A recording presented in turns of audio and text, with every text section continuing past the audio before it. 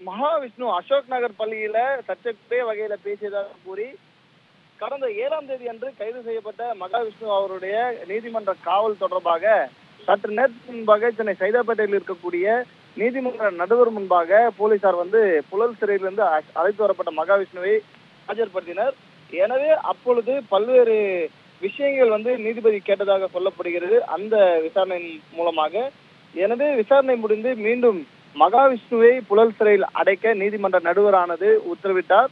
எனவே வரும் இருபதாம் தேதி வரை அவருடைய நீதிமன்ற காவலை நீட்டித்து அவருக்கு உத்தரவை பிறப்பித்திருக்கக்கூடிய காட்சிகள் தான் பார்க்க முடியுது. போலீசார் வந்து ஆஹ், செய்தியாளர்களுக்கு அஹ், டிமிக்கி கொடுக்கக்கூடிய வகையில அவரை பின்வாசல் வழியாக நீதிமன்றத்துக்கு அழைத்து சென்றதான் களத்தில் பார்க்க முடியுது.